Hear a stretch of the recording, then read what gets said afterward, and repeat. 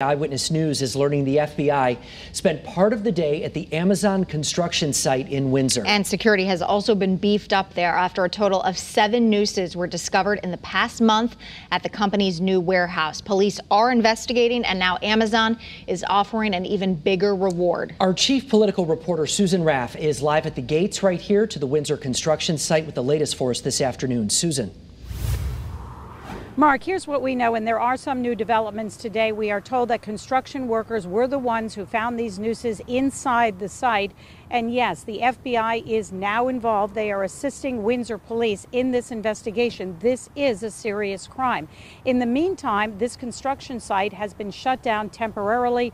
Police say Amazon wants to increase its security. They want to limit access points, and they also want to add more security cameras.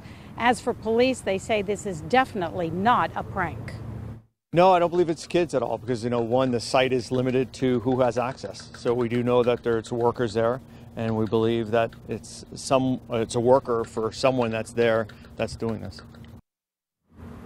Now, this is a pretty big facility, but we're told that the nooses were found generally in one large area. There were seven of them. One was actually a hangman's noose with a knot. The others were ropes that were loosely tied off at the end.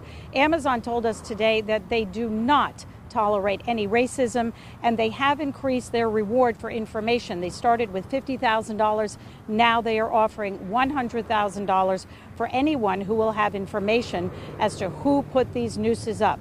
Coming up on Eyewitness News at 6, the NAACP weighs in, plus why, if the person or persons caught could be in a lot of trouble. We're live in Windsor. Susan Raff, Channel 3 Eyewitness News. All right, Susan, thank you very much.